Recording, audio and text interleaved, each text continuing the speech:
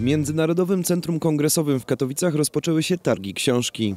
Już pierwszego dnia impreza cieszyła się dużym zainteresowaniem, co pokazuje, że mimo cyfryzacji klasycznie wydane publikacje mają w dalszym ciągu bardzo wielu fanów. Na pewno powieści detektywistyczne, także coś, co wciągnie od samego początku, no właściwie jak u Hitchcocka, tak? Zaczyna się z przytupem, a potem tylko napięcie rośnie. Taka, która pochłania czytelnika bez reszty i która myślę i na emocje działa i jest czymś, co w jakiś sposób rozwija. Na katowickich targach książki pojawiło się około 160 wydawnictw z całego kraju. Obecne są te dobrze znane szerokiemu gronu czytelników, jak również te niszowe, które wydają konkretny rodzaj literatury. Oczywiście trudno nam czasami konkurować z wydawnictwami popularnymi, natomiast wydaje mi się, że, że osób zainteresowanych historią, zwłaszcza w wymiarze regionalnym, jest, jest zawsze odpowiednia ilość. Coraz częściej też wydajemy prozę i powieści. E, To jest jakaś taka świeża działka. Mamy teraz otwartą serię powieści e, i to też powolutku zaczyna być taką działką, która interesuje naszych czytelników. Oprócz możliwości zakupu nowych książek czy bestsellerów, chętni mogą również odwiedzić antykwariuszy, u których można znaleźć stare pozycje.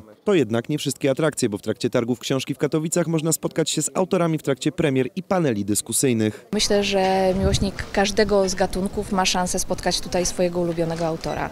Mamy spotkania w ramach strefy kryminału, strefy fantastyki, są spotkania dla dzieci i młodzieży. Organizatorzy liczą na odwiedziny zwłaszcza młodych osób. Jak się okazuje, trochę krzywdząco są one postrzegane jako te, które owszem czytają, ale głównie w internecie. Od początku roku no, odnotowujemy olbrzymie zainteresowanie e, książką młodzieży.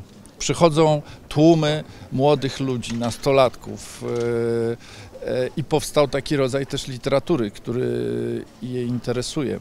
Targi książki w Katowicach potrwają do niedzieli 6 listopada. Wstęp jest bezpłatny.